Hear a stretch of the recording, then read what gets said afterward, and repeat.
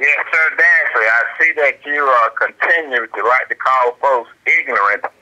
What you need to do is, as I told you one time before, stand your little pumpkin ass in the mirror and look at yourself.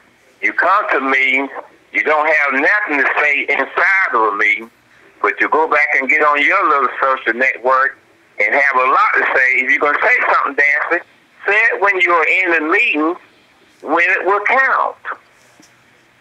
I don't know. I've been trying to teach you something for a long time. It seems like the more I try to teach you, Dancy, the damn dumber you get.